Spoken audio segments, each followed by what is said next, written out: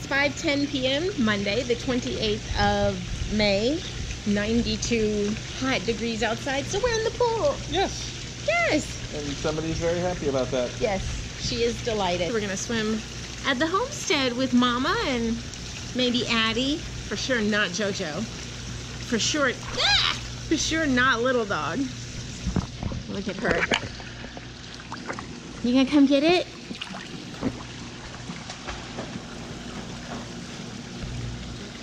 You're so beautiful. Look at you.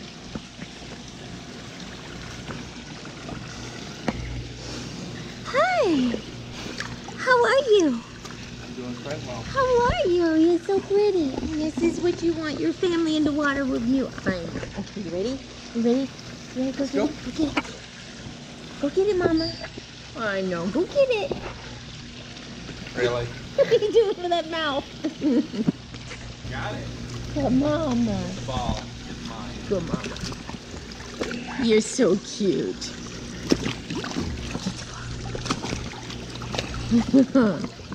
Good Mama. And no, we don't use tennis balls with her. Um, we used to, but Millie likes to shred things, and tennis balls were easily shred by her. But these balls, she completely leaves alone. She doesn't chew them or even try and get their squeaker out. So they squeak and she leaves them alone. So we buy them. And it's a five pack that we, you're inching the wrong way. Let's go this way. Ready? Uh, it's a five pack we get at PetSmart. And we have a stash of them because she loves them so much. Oh!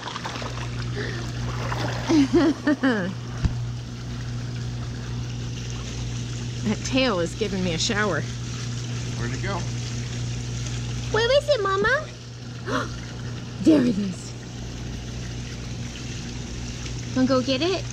Oh, I want that to throw it to me. Yes. I don't have to move. she loves to chase after the ball, but she is getting older. She is older, and um, she does have a bad leg. So swimming is really good for her. We do encourage her to swim, but not too much because we don't want to wear her out or cause any pain. Um, she has medication. She's being treated.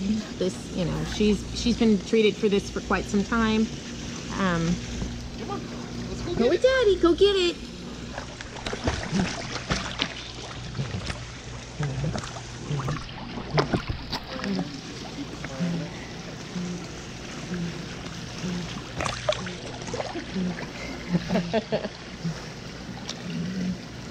Good girl. Yes. How often do our dogs go to the vet? I don't think a month goes by that at least one or two of them isn't. Tail whip. Tail whip. one or two of them isn't at the vet. Um, oh, hold on. Good girl. Oh, is that easier? Anyway, as I was saying, um, our vet, our beloved vet, just last month um, had had to retire due to illness, and we're getting used to the new one. She's very very kind. She's getting to know our pups.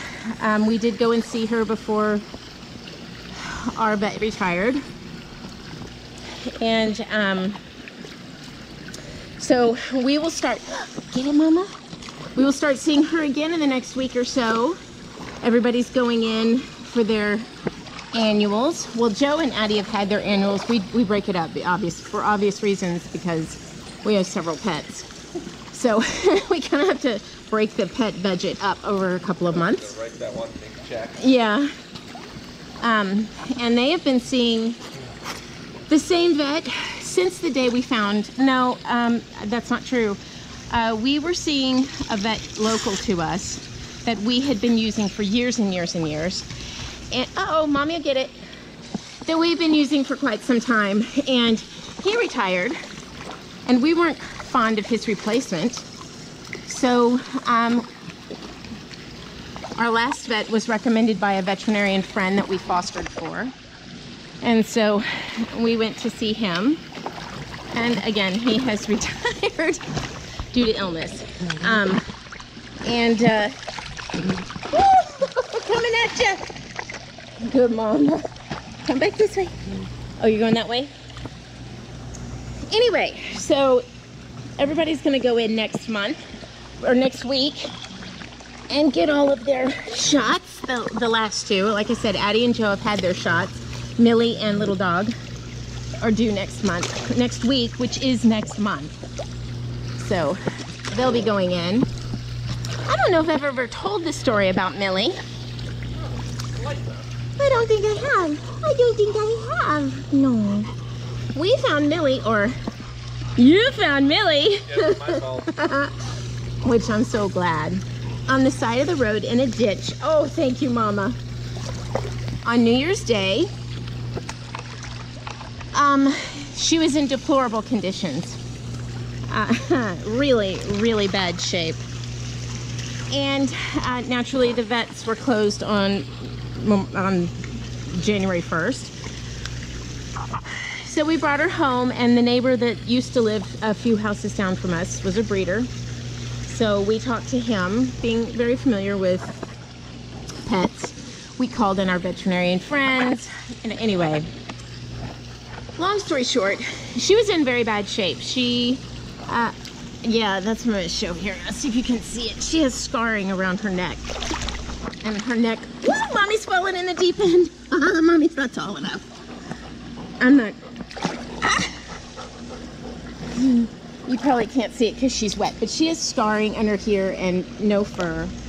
Um, is that thing on? Oh, mama. um, she had a horse bridle and chain and like just a whole bunch of metal things around her neck. And they were embedded into her fur and into her skin because they were so tight and had been there for so long. She was only, she was about a year old. The vet estimated nine months to a year when we found her. Um, she was covered in fleas. Oh my gosh. And like, oh, you go, mama. And uh, very thin, very pregnant. We thought she had worms. She did not have worms, but she was very, very thin, underweight, malnourished for a pregnant mama. And so um, we, at the time, it was 2009, and the economy had just crashed. And uh, so the shelters around here were full, and we were not in a position at that time to foster properly. But um, thankfully, we had the support of veterinarian friends and veterinarians in the area because the shelters basically said they would euthanize her. That was not going to happen under my watch. That was not going to happen. So, um, so we kept her, and uh, I got online. I read everything I could about whelping puppies, and the vet taught us a bunch of stuff. And you know, it was a crash course because it was any day she was going to deliver. Our neighbors let us borrow, borrow a whelping pen, and we cleared a big old space and she had her puppies. 13 puppies on January 18th. There's one of them. That's right, I had them. It was, um, it was a lot of work and totally worth it. Very, very rewarding, right, Mama? A pretty girl. Where's no?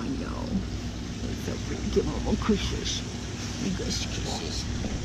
Yes. Mm, thank you. Thank you so much. Sweet mama. Wanna go play with daddy? No?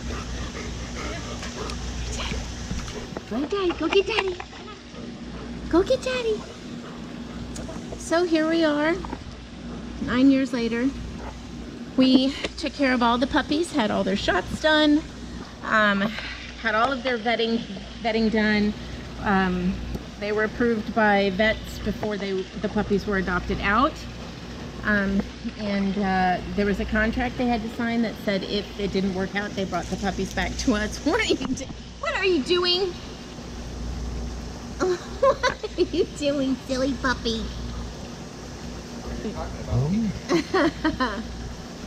um, anyway, so we had one come, two come back, Jojo and Addie. I mean, Jojo and um, Max. Max. Max had to go immediately to our trainer. He was there, what, six weeks? Yeah.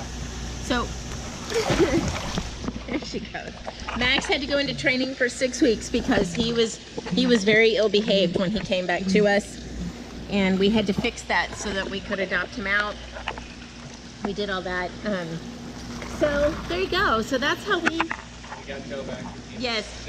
we got Joe back, and he was just beyond sick, beyond sick, and it was months of treating him to get him well. He's still not well. He it just it's allergies, but he looked terrible when we got him back. He had no fur. Oh my God, it was terrible. And it wasn't a neglect. It was not neglect. He just he was sick, and it took us. Uh, Dr. Wood, our beloved Dr. Wood, fixed him. He's the only one that ever fixed him. And we saw how many vets? We saw a bunch of vets trying to figure out how to how to help him help him so ready go get it mama anyway so that's the long version of millie oh. well you can go get it It's right there. it's right there mama go get it get the ball i don't want to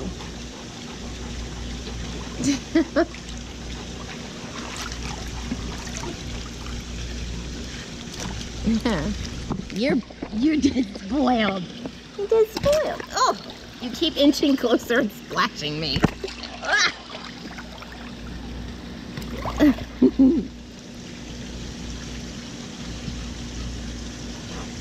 Laser focus.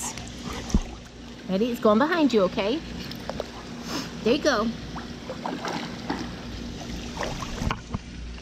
Anyway, so um, they all know us at the veterinarian office by name. all of our dogs are known by name. When I call, they recognize my voice. I mean, it's just uh, Almost wrong. almost wrong and excessive, but um, I can't help it. They are my babies and our babies.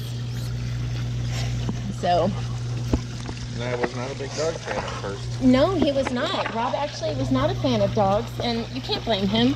He was nearly mauled to death by a dog when you were five. Yep. Five. Shepherd. by a German Shepherd. Literally almost killed him. That's not an exaggeration. Um, he had several stitches to be put back together, several surgeries to be put back together. Ready? Um, oh, the hair's wet. Oh well. and um, so when he met me all those years ago, I've always been an animal lover. I've always had many dogs, many cats at one time, and um, it was a requirement. So basically, our first few years of marriage, we lived in an apartment. We couldn't have pets. I mean, so, but the first time we were able to have a dog, I just sort of went went to the shelter and picked up the cutest, snuggliest little puppy I could find and brought him home. You can come get it if you need I don't want to, and that's all it took. He was a convert. they began rolling in after that and began being fosters and caring for puppies, finding every animal. We've had many, many, many animals. So, If anyway, they don't have tags, they found me. yes, if they don't have tags, they find him. We never find the ones with tags, ever.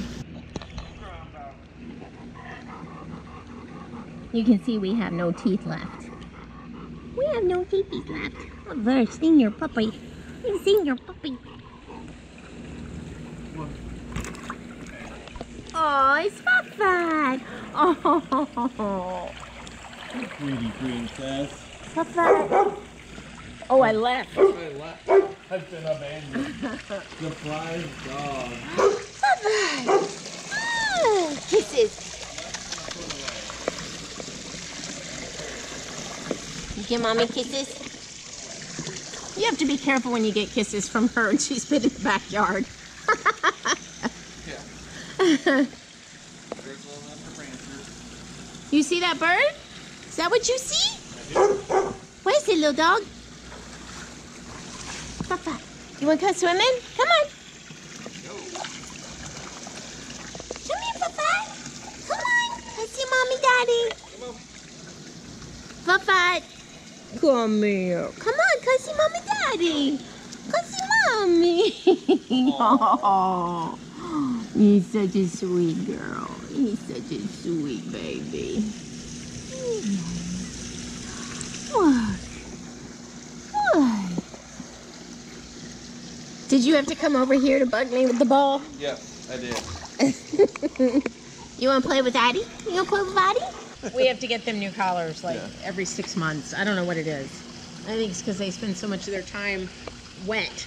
Because either they're being bathed or they're in the pool or something. Look Or at being you. ferminated. Or being ferminated. Oh, jeez. I know somebody who needs one. That's right. Little man's like, it's not me. It's not me. I don't need it. I don't have extra. No, where are you, little dog? He's on the backside of the fire pit. There you are. Come here. Come here, my little Grace now. Everybody's a senior now. Yes. Everybody's a senior, huh?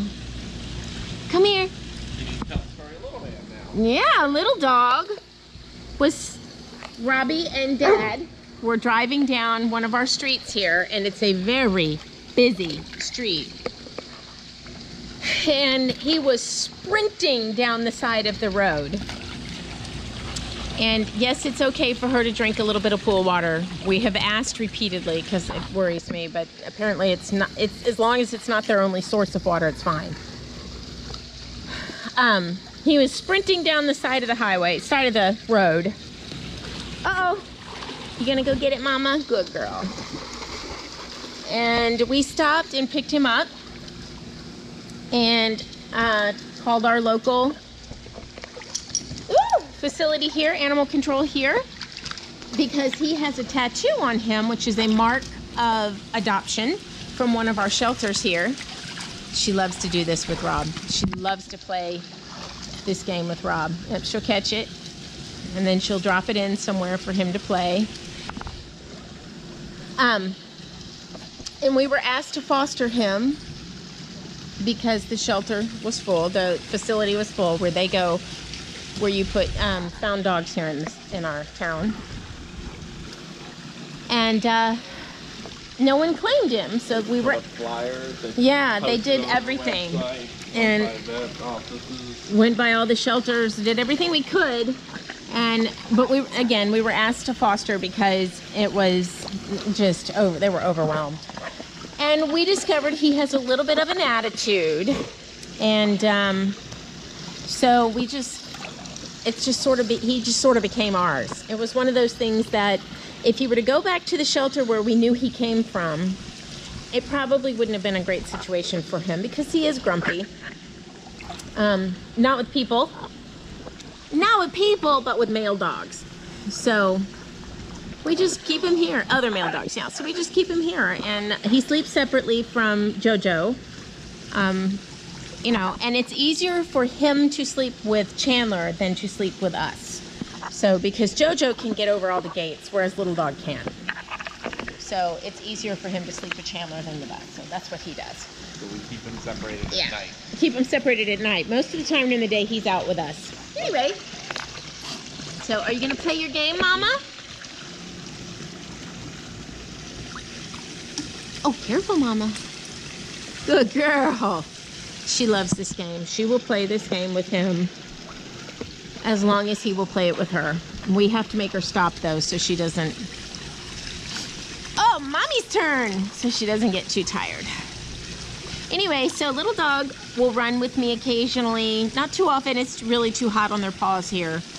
Um, but uh, will run with me occasionally. We do different things with him to help him stay calm. So, but he is very growly. You'll hear him. You've heard him on vlogs before. He's very grumpy. Aren't you? You're a grumpy fish, huh?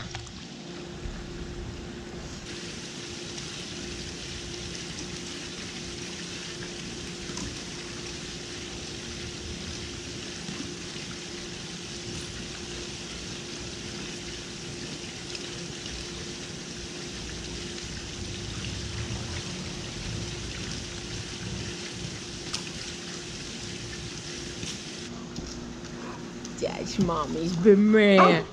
Banana. Look at that face. Look at it. Oh, God, he's so handsome. Mm. Thank you. Good mommy's baby. Yeah, you're just the sweetest boy ever, aren't you? You just, you're just sweet. Yes. 140 pound lap dog. That's right. He has no idea that he's so big because he was so sick. All we did was hold him. So now he has no idea that he's big. Do you? You don't know.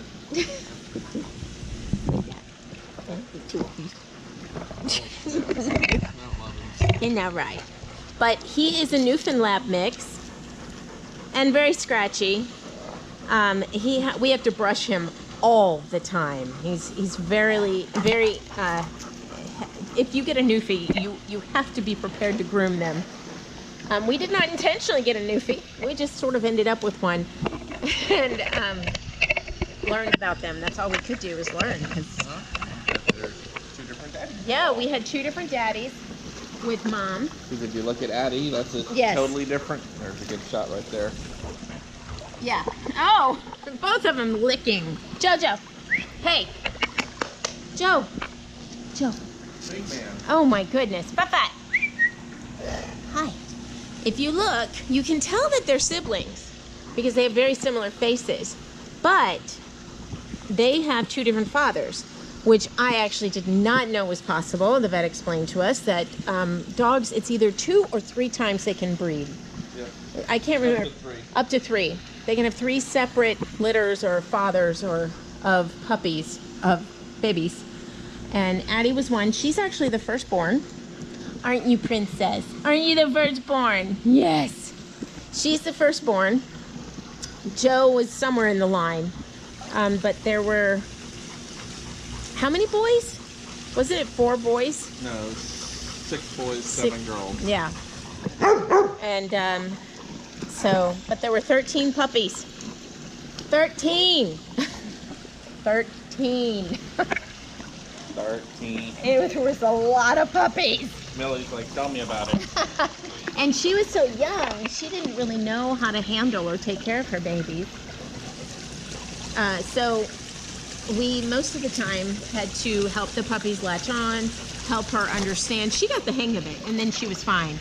Um, but uh, She was so young. she was very, very young, and you know, just wasn't ready to be a mama.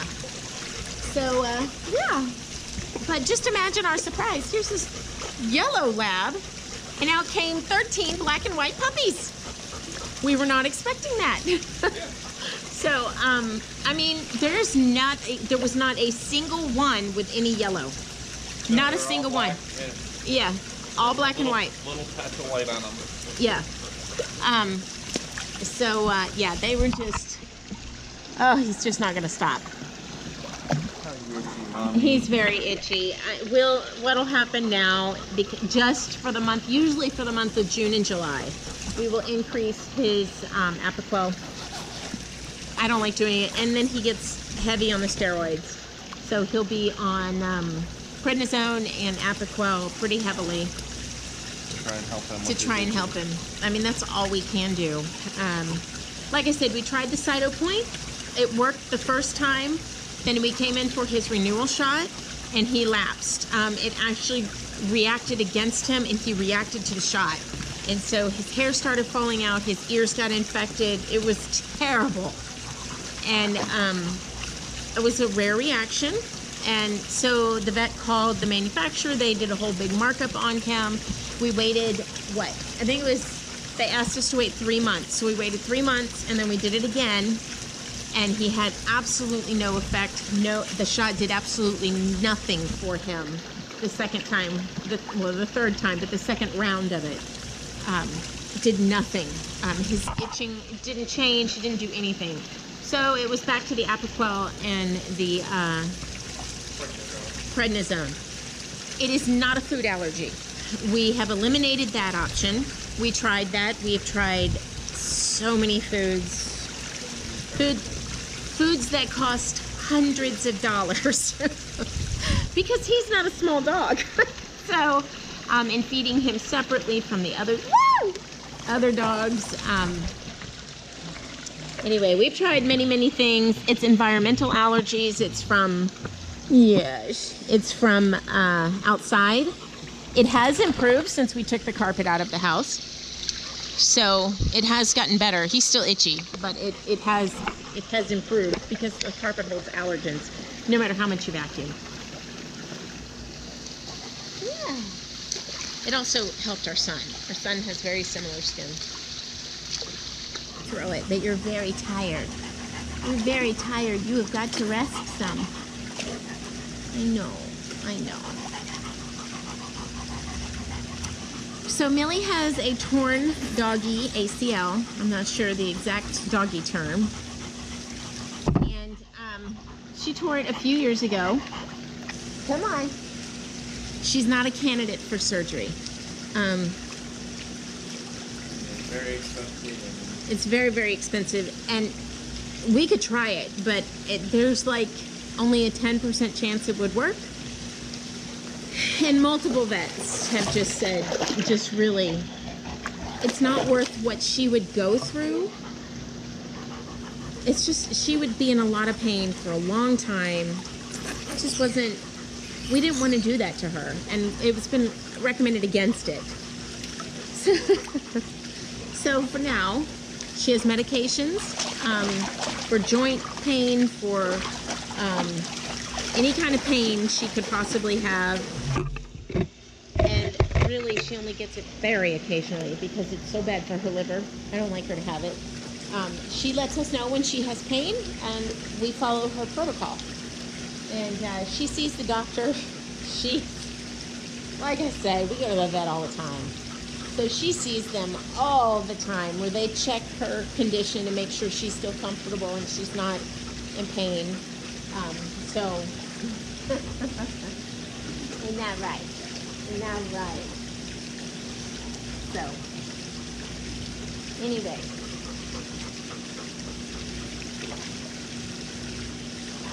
You were so comfy. I'm sorry. I'm sorry. Let me get it. Get out? Yeah. All right then, Mama. It's time to get out. Goodbye. Yes. All right. We'll see you next time, or later, or whenever.